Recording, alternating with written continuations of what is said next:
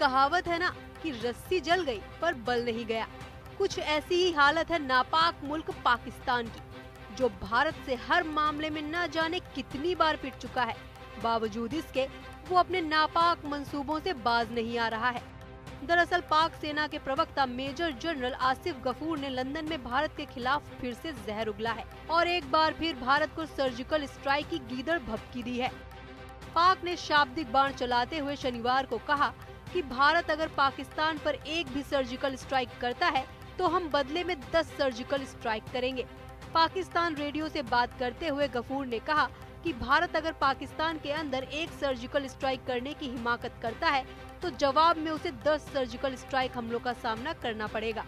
गफूर ने कहा कि जो लोग हमारे खिलाफ किसी तरह की कार्रवाई करने के बारे में सोचते हैं, उन्हें पाकिस्तान की क्षमताओं पर भी कोई शक नहीं होना चाहिए।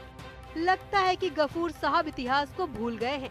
अगर वो इतिहास के पन्नों को उठाकर देखें तो यकीनन उनकी ये मानसिकता और सोच पल भर में चकना चूर हो जाएगी।